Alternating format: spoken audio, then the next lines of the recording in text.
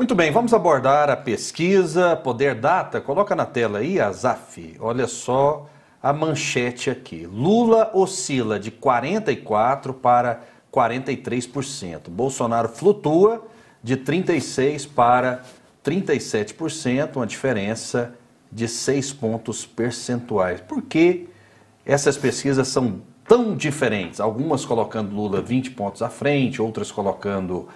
É Lula oito pontos à frente, essa colocando Lula seis pontos à frente, em algumas pesquisas mais pontuais, colocando até um empate entre Lula e Bolsonaro. Como que o, o, o público fica diante dessas diferenças? Vou começar com a professora Lúcia. Pois não, professora?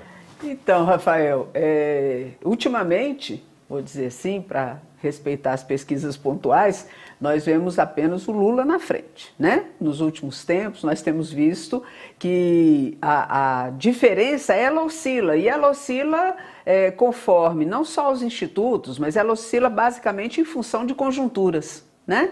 Nós vamos viver é, conjunturas onde a, a, a perspectiva é, é influenciada por diferentes notícias e fatores de fato que acontecem no cotidiano da vida política nacional e também local. Então eu penso que é, as, as diferenças vão se dar muito em relação a isso e também em relação a uma investida na, nas redes nas redes virtuais, né? no, no na propaganda, na influência que as diferentes candidaturas vão ter.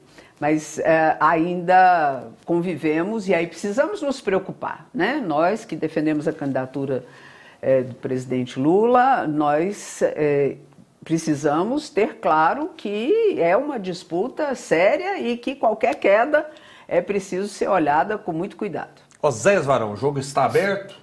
Rafael, eu quero chamar a atenção para um fato sobre esses institutos de pesquisa, que é o seguinte: você diz que tem instituto dando 20% de frente para o Lula. E sabe qual é o instituto que dá um número próximo desse? É o Datafolha, que, segundo delação do Palocci, vendia pesquisas para o PT. Então a gente tem que ter esse dado para a gente compreender por que, que o Datafolha dá essa diferença tão grande.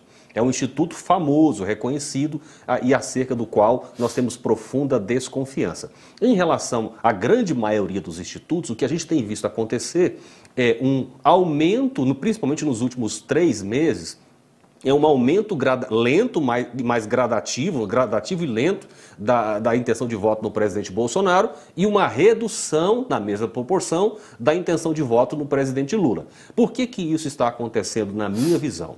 é que com o aproximar das eleições, com a, a população voltando o seu olhar para o debate político eleitoral com mais atenção, boa parte das pessoas vão começar a perceber que não faz o menor sentido elegermos um bandido, um quadrilheiro, um comandante de quadrilha que foi condenado pelo Supremo Tribunal Federal por corrupção né, foi descondenado, é bom dizer isso, essa mentira que repetem tantas vezes na esperança de que se torne verdade, de que o Lula foi inocentado, é falso. Tá? Eu sou advogado, sei muito bem que ele não foi inocentado.